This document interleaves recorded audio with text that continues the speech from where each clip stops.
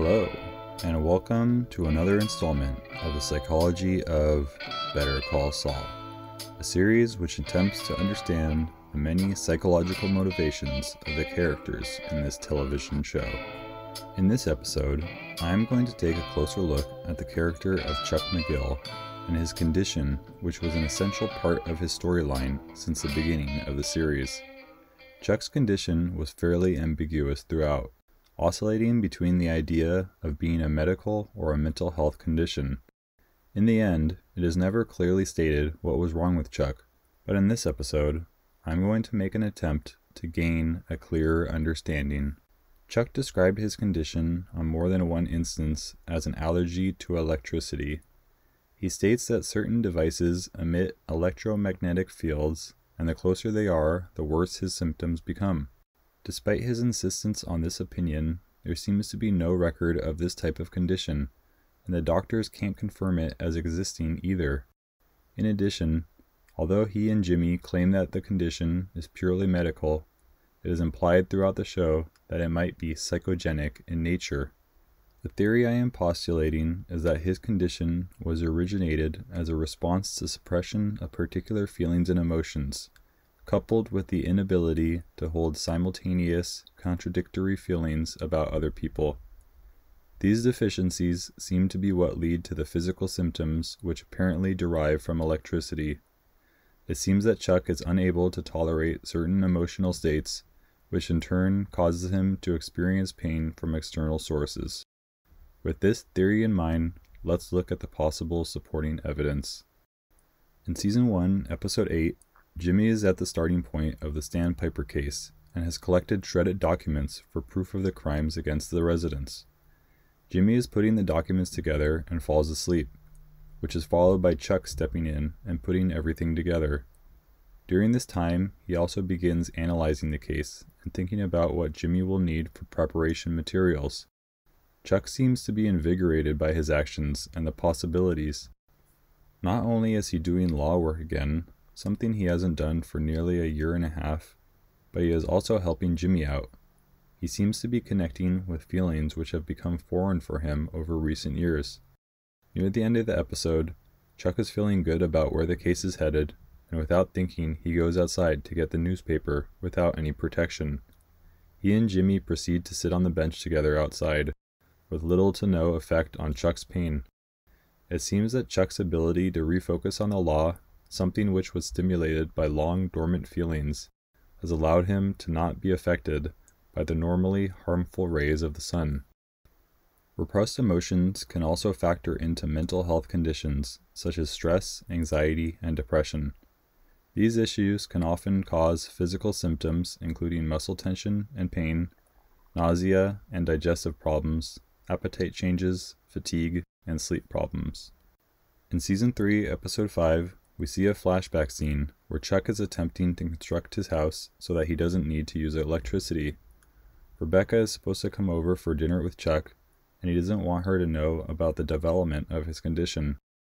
During dinner, Chuck and Rebecca are connecting and seem to be hitting it off well.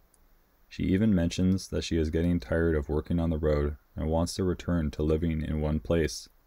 Just then, her cell phone rings, and she begins speaking with the conductor of her work.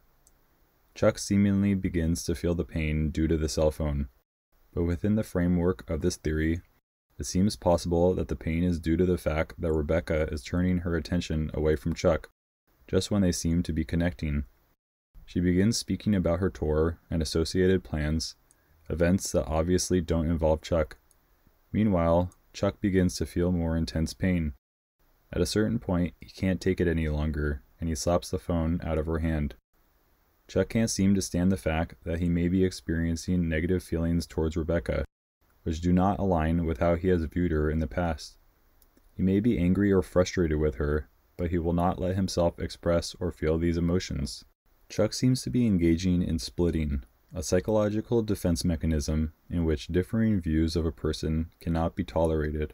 So instead, one sees the person in all or nothing black and white terms. Instead of integrating the new feelings for Rebecca, he suppresses them and feels them as pain from electricity instead. When Jimmy tries to get Chuck to talk to her about his feelings, we see Chuck's face and how distressful it is for him to consider this act. Emotional suppression, for example, consists of inhibiting the outward signs of your inner feelings. Professionals in high stress jobs, doctors, police, military, are often taught that emotional suppression is an effective strategy for emotional regulation, in spite of plentiful research suggesting otherwise. Studies have shown that suppressing emotions actually endangers your health and well being, both physically and psychologically. Emotional suppression, having a stiff upper lip or sucking it up, might decrease outward expressions of emotion, but not the inner emotional experience. In other words, suppression doesn't make the emotion go away, it just stays inside you, causing more pain. In the same episode, Chuck is on the stand for the case against Jimmy. When Jimmy inquires about his condition, Chuck admits the symptoms began shortly after he was divorced from Rebecca. Chuck says about Jimmy He knows I still have a, a lot of feeling for my ex wife. He's hoping this will break me down, split me apart at the seams like a murderer confessing on an episode of Perry Mason. When asked to describe his condition further, Chuck describes the sensation as tightness in the chest difficulty breathing, and pain all over. The symptoms he describes sound more like what would occur from a panic attack, which is itself categorized as a mental health condition. Although the cause of panic attacks is unknown, it is generally accepted that they occur as a response to major life transitions, like being divorced. The feeling of someone experiencing a panic attack can also be described as attempting to escape a situation in which you feel endangered. Is it possible that when Chuck experiences these symptoms that in fact his suppressed feelings are attempting to make their way to the surface, and he in turn feels unable to escape as if he is in a dangerous position? Later in the scene, Chuck explodes in a tirade about his family history when his condition is exposed. We hear him bring his parents into the conversation, in which he expresses his dissatisfaction with the way they never made Jimmy take responsibility for his actions. In other scenes of the show, Chuck seems to view his parents in an overly idealized way, despite the fact that they seem to have made many mistakes in life. But when his condition is exposed, his repressed emotions about his parents come to the surface. This is another example of Chuck engaging in splitting, in which he does not allow himself to hold contradictory feelings about others tending to hold a one sided view as opposed to seeing people on a wider spectrum. In Season 3, Episode 8, Chuck is doing a therapy session at his home with a doctor who previously treated him at the hospital. He seems to be doing much better in terms of his sensitivity to electricity and is describing the lessening of his pain. When the doctor asks him about his future plans, he speaks in length about the things he wants for his life and his interest in increased friendships. I'm gonna get these lights turned back on. I want this house to be full of music. I want to have a dinner party. Oh, hell, no. Great big celebration. I want 100 people in here spilling out onto the lawn. I want caterers and a full bar. I want to be surrounded by friends and colleagues. We see him speaking with passion and excitement in his voice. He is connecting back to emotions he may have been cut off from for an extended period of time, feelings he hasn't experienced since before his condition began. We also see him going to the grocery store and attempting to make practical changes in his life. As his condition improves, he is attempting to reconnect to life and associated feelings.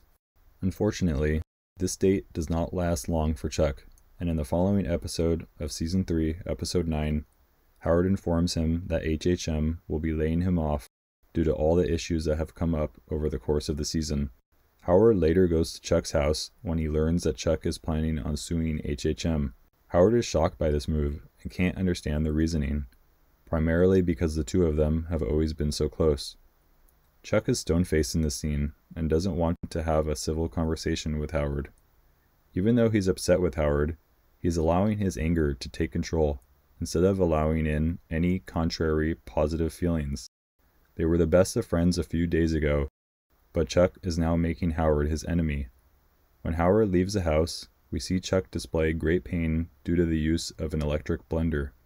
Once again, we see that when Chuck disconnects from certain feelings and tries to push them down and not handle them directly, the pain he experiences from electricity tends to worsen. Essentially, if you try to push away a thought on some topic, you will end up having more thoughts about that topic. The same effect happens when you try to push away emotional thoughts. If you frequently try to push away thoughts and feelings, you may be making more trouble for yourself. In fact, it's possible that this is setting up a vicious cycle. You have a painful emotion, you try to push it away. This leads to more painful emotions, which you try to push away, and so on. In Season 3, Episode 10, Chuck has just told Jimmy that he never really cared for him, a decision which Chuck seems to be making as a way to end their relationship permanently. Similarly, with what happened with Howard, Chuck seems to be taking one sided views on his relationships with others and looking at things in black and white terms. He is upset with Jimmy, and rightly so, but instead of trying to look at their relationship as a whole, he is pushing away the contradictory emotions and focusing only on the ones that are presently at hand. Chuck is once again taking a polar stance on his feelings, denying what might be hiding underneath. What he has said to Jimmy is a complete fabrication of how he feels, and we later see how it makes a critical impact on Chuck. Later that night, he is unable to sleep and gets up to begin looking through the house. For the rest of the episode, we see Chuck digging through the walls and floorboards, attempting to locate where the electricity might be coming from. He feels pain, so he figures that there must be some electricity somewhere in the house. The problem is that the pain is not resulting from the house, it's resulting from his own disordered psyche. The origination is not external, it's completely internal. As we see him digging through the house, tearing out wires and appliances from top to bottom, it is symbolical of a broken man searching through his mind trying to find the thing which is causing so much suffering. He is trying to find what's buried deep within his unconscious. What is the underlying cause for this thing he cannot get rid of? He has a glimmer of an idea that the problem is due to something he hasn't considered. When he is unable to locate the source of his pain, he looks like someone who has been utterly defeated. He realizes that despite his completely rational and logical way of thinking, the way of being that has gotten him everything he has worked so hard for in life. He was unable to understand the other part of himself that is just as important the irrational aspect of emotions and feelings. Staring at the camping lantern, he decides to choose death as opposed to further attempts to deal with his interpersonal relationships and the ever painful feelings that come along with them. Finally, season 4, episode 10, we see a flashback scene to a karaoke party for when Jimmy first received his law license. Ernie is on stage and singing the song Total Eclipse of the Heart. Not only is Jimmy beginning to experience an eclipse of his heart at the end of season 4, as he is denying all feelings for Chuck following his death, but Chuck seemed to be the one who guided him towards his path. As we have just learned that the denial of his own heart seems to be the cause for his eventual downfall. At the end of the scene, Chuck tucks Jimmy into bed and they lay down, singing a song that they sang together earlier in the night. They both loved each other immensely, but were in denial of that love when things did not go as they had planned. This concludes this installment from the series on Better Call Saul. Please watch my other videos regarding other characters if you enjoyed this episode. Thank you for watching.